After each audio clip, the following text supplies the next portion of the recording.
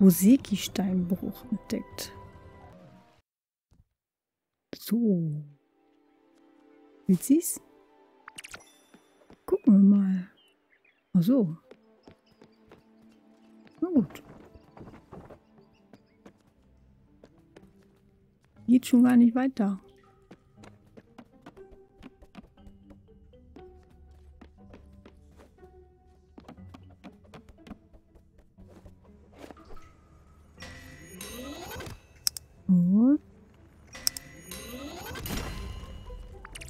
Kohle. Mhm.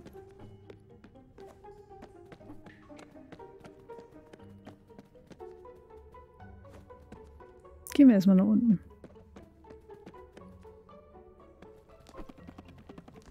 Ach Gott, ist ja noch wer.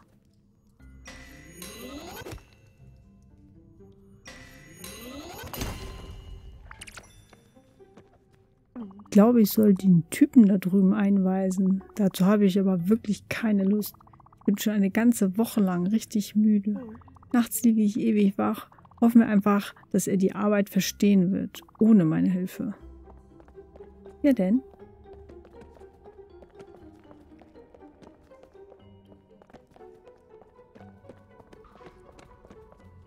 Kann man ja leicht den Überblick verlieren.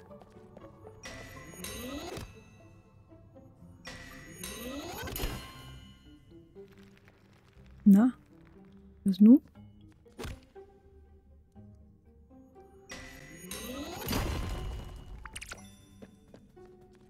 Heute ist mein erster Arbeitstag. Ich habe keine Ahnung, was ich mache.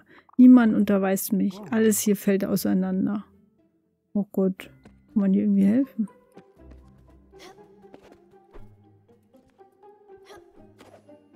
Mhm.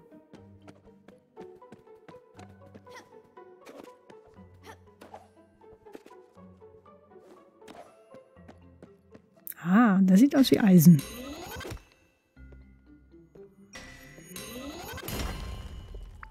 Jawohl, brauche ich.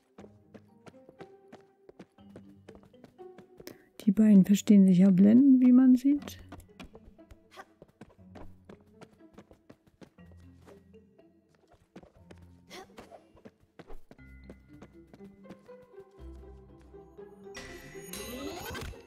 Okay, haufenweise Kohle. Kriege ich auch mal irgendwie anders? Hm, lieber Kohle, sieh schon. Okay, Gregory reißt sich zusammen. Heute ist dein erster Tag. Alles dreht sich nur ums Graben. Es alle Probleme draußen vor der Tür. Heute ist ein neuer Tag. Tief durchatmen und chillen. Alles klar.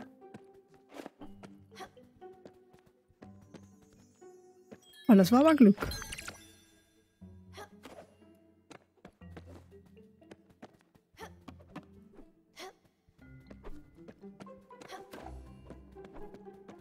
Na, es gibt hier nochmal Eisen. Prima.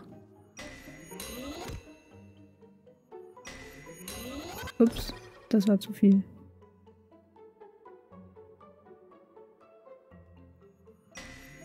Boah, ich weiß gerade nicht, ob man das hört, aber es regnet draußen gerade richtig krass.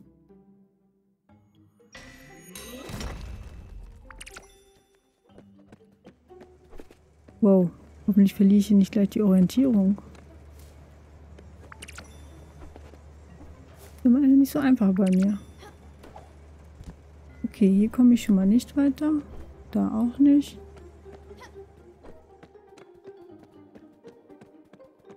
Also muss ich jetzt wohl hier die Treppe hoch.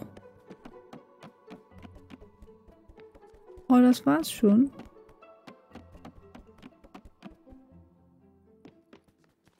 Mein Manager ist echt gestresst. Er meinte, ich soll heute still sein. Ich solle nicht einmal mit dir reden. Okay. Heute kommen welche von der Verwaltung. Ich sollte einen guten Eindruck auf sie machen. Ich habe meinen geschäftlichen Gesichtsausdruck geübt und so weiter.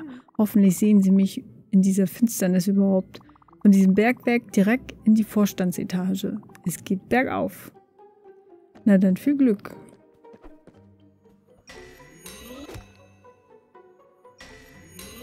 Ja, prima. Eisen brauche ich.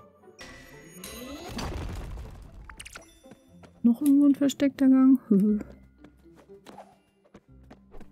Schade, weil da gibt es wohl nichts. Aber immerhin ein bisschen Eisen. Wenn man die Sonne nicht sieht, kann man so tun, als sei immer Mittag. Das sagt mein Chef immer bei Meetings. Mhm. Liegen da Bücher?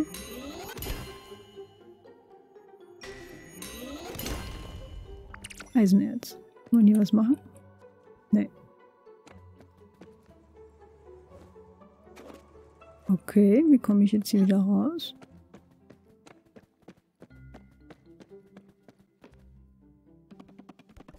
Es kann ja nicht richtig sein, dass ich jetzt den ganzen Weg hier wieder zurückgehen muss.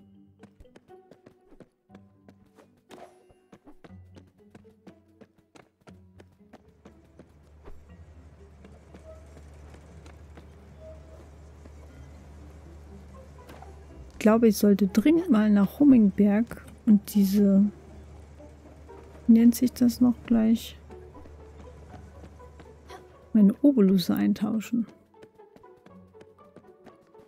Weil das ist ja jetzt ziemlich sinnfrei hier. Aber gut, geht auch. Wenn man jetzt auch den richtigen Weg gehen würde. Aber so ist das mit Frauen und der Orientierung.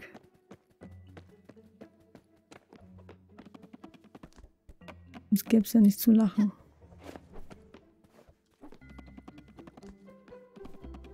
Und was? hier noch was? Da nicht. Und da auch nicht. Okay. Dann sind wir hier wohl durch. Urogawa entdeckt. Das sieht doch auch sehr ländlich und teig und ein paar Bäume und Pilze wird es aber bestimmt auch für mich geben. Okay, dann gucken wir mal. Hier unten gibt es schon mal nichts.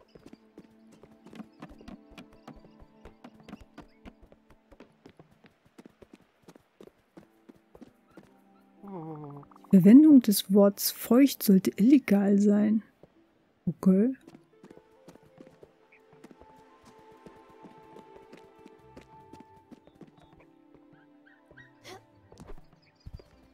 Wo ist mein Bruder? Er sollte hier sein. Mhm.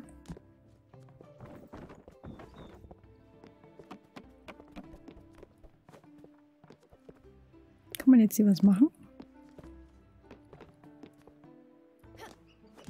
Ausspringen kann ich nicht. Mhm.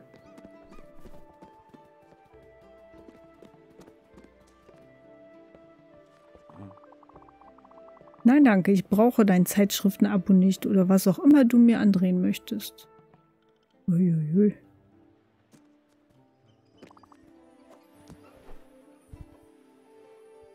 Wo könnte er denn nur sein? Oh, du kommst gerade zur rechten Zeit. Ich benötige dringend Hilfe. Ein freundliches, vertrautes Gesicht sagt mir, dass du eine hilfreiche Person bist. Also, ich möchte diese Sammlung aus fünf traditionellen Holzdrucken vervollständigen. Sie stammen aus der Oshiro-Epoche und sind daher unheimlich wertvoll. Vier davon habe ich bereits gefunden, doch den fünften konnte ich noch nicht aufspüren. Ich bin mir aber sicher, dass er sich in diesem Dorf hier befindet. Außerdem weiß ich aus zuverlässiger Quelle, dass Theodore, der örtliche Händler, ihn bis vor kurzem noch in seinem Besitz hatte. Aber er leugnet seine Existenz. Was für ein lässiger, kleingeistiger Mann. Waschbär eben. Marder. Hund was auch immer er ist. Aber mit deiner Hilfe, ja mit deinem liebenswürdigen Lächeln und deiner friedfertigen Ausstrahlung, nun ich bin mir sicher, dass du dich einschmeicheln und dieses letzte wertvolle Stück erwerben kannst. Das wäre das letzte Teil dieses komplizierten Puzzles. Na dann los, Skipperin. Ich kann es kaum erwarten. So, so. Ah, hier komme ich wieder nicht rein. Willkommen bei den weltberühmten Furugawa-Führungen. Sie dauert etwa fünf Minuten und widmet sich der reichhaltigen Geschichte dieses Dorfes. Danach wirst du unzählige Anekdoten über diesen Ort kennen. Damit wirst du im Mittelpunkt jeder Party stehen, falls du mal zu einer gehen solltest. Bereit? Äh, na gut. Perfekt, dann fangen wir mal gleich an. Ein mächtiges Symbol, errichtet, um böse Geister fernzuhalten und diese Insel für zukünftige Generationen zu segnen. Manchmal verweilen Inselbewohner auf dem Heimweg bei diesem Baum. Vielleicht um einen verschollenen Bruder, einem kranken Kind, einer verflossenen Liebe zu gedenken. In den Legenden heißt es, dass er manchmal spricht. Ein weiteres Element der reichhaltigen Kultur dieser Insel.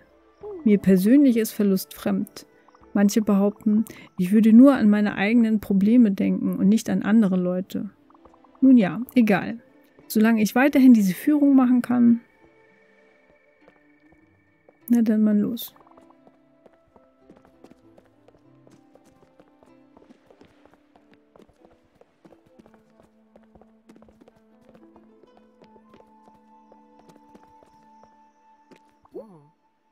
Weil dieses Dorf so dynamisch ist, hat Raccoon hier auch eine Niederlassung. Für die meisten ist dieser Laden die beste Bezugsquelle für Materialien und Waren. Zufälligerweise ist er auch der einzige Händler im Dorf. Diese von Theodore Raccoon gegründete Ladenkette ist das Fundament einer florierenden Wirtschaft. Kleines Detail am Rande. Wer bei Raccoon arbeitet, muss seinen Vornamen zu Theodor Theodore ändern. Mhm. Zu Ehren des Gründers nehme ich an. Ein wahrhaftiger Beweis der Hingabe. Ich selbst frequentiere diese Läden nicht. Ich stelle meine Bekleidung und Möbel selbst her. Das ist nicht wirklich bedeutsam, aber ein interessanter Fakt aus dem Leben deines Touristenführers. Na Mensch.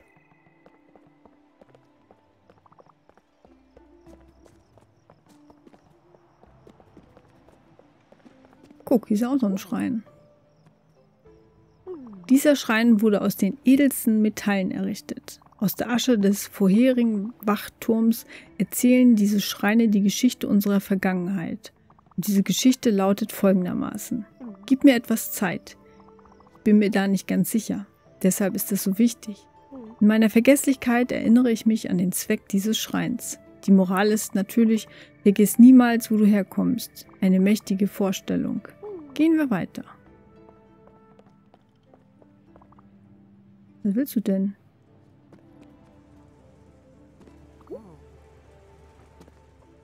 Hier endet unsere Führung. Wir von den Furugawa-Führungen freuen uns über deine Teilnahme. Danke für deine Aufmerksamkeit und Geduld. Nochmals vielen Dank. Wenn dir die Führung gefallen hat, ist dein Trinkgeld angemessen. Naja, sind wir mal nicht so. Ah ja, ja. Hier. Braucht doch da Fähigkeiten. Erwerben.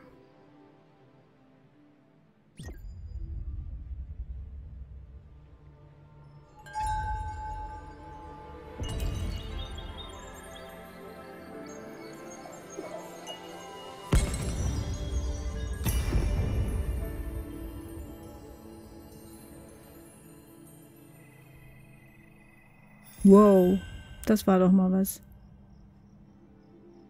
Halte in der Luft Leertaste gedrückt, um zu gleiten. Okay. Kann ich auch fliegen?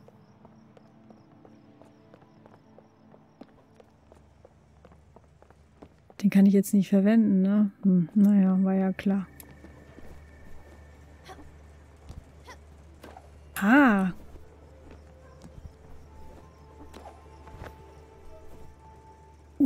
Das wird aber schwierig. Krass. Okay. Das wird noch anstrengend.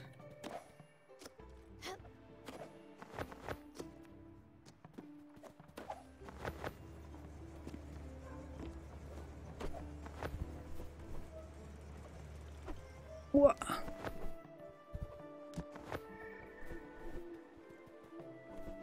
Erwischt möchte niemals nach Hause zurück.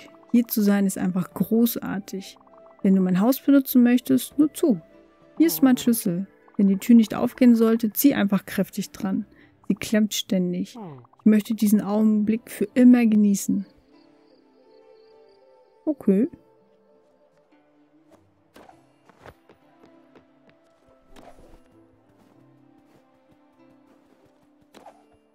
Ja, prima.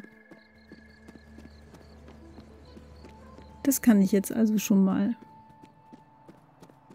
So, hier, Herr Halsabschneider.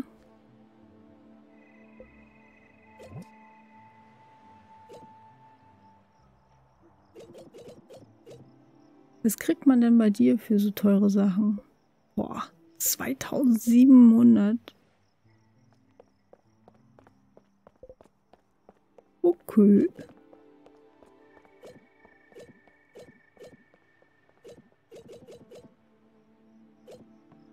Ach, die anderen Sachen sind dann wohl wirklich nur für den Einverkauf gedacht. Fleisch. Naja, muss ich ja dann wohl, ne?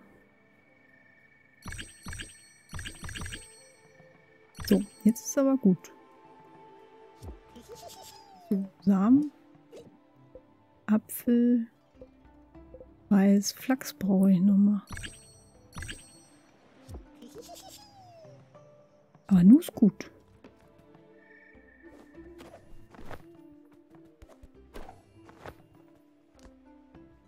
Komme ich hier vielleicht rein? Nee, da war ich glaube ich schon.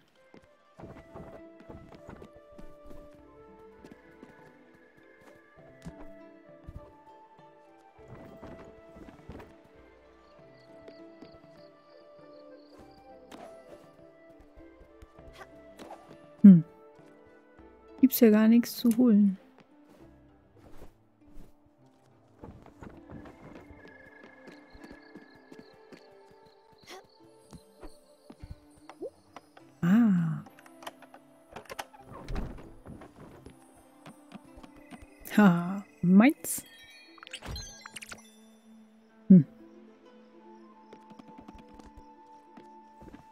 Nicht das, was ich wollte.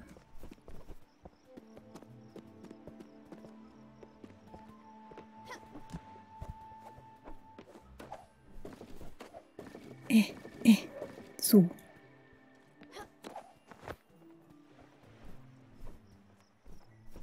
Oh. Du bist echt geschickt. Ich komme hier hoch, um die anderen von oben zu betrachten. Alle sind so klein. Ich fühle mich groß und stark. Wenn du meine Mutter triffst, sag ihr einfach nicht, dass ich hier bin. Ich möchte dieses Gefühl nur etwas länger genießen. Kein Problem. Cool. Ach, schade. Vielleicht muss ich noch mal zurück.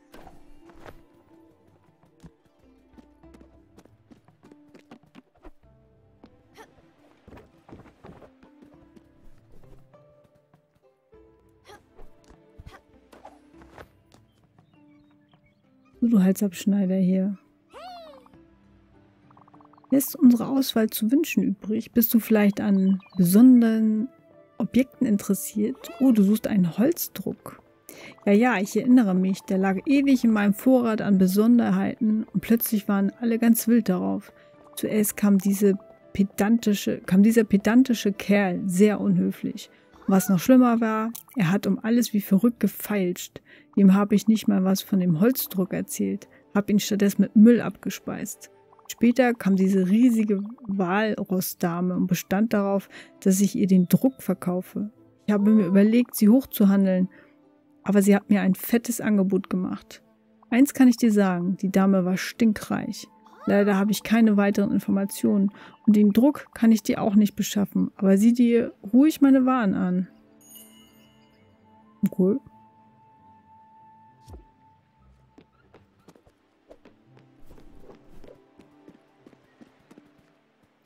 Du warst das nicht. Du warst das. Aha, da bist du ja wieder. Hast du den fehlenden Druck gefunden?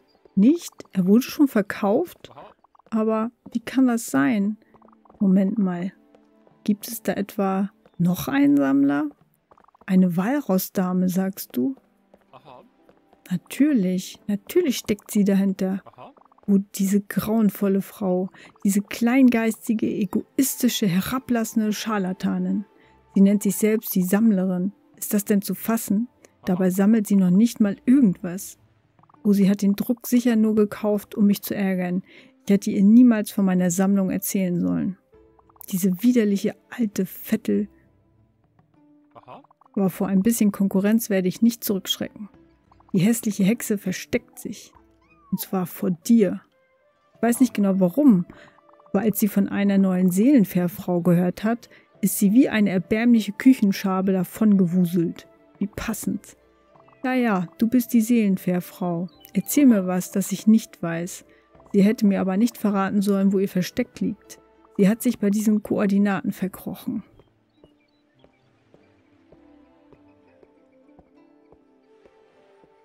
Statt ihr doch mal einen Besuch ab, in Ordnung? wenn du sie triffst, zeig ihr diese Figur. Sie wird schon wissen, was das zu bedeuten hat. Glaub mir, das wird sie. Das, oh, mach dir da keine Sorgen, das ist nur Tant von Theodore. Na gut, dann gehen wir mal. Und ja, ich hoffe, das Video hat euch gefallen. Ich würde mich über ein Like freuen und ja, oft, wenn ihr meinen Kanal abonniert, um einfach immer auf dem neuesten Stand zu bleiben, wenn ich wieder ein neues Video hochlade. Also dann, eure Bora.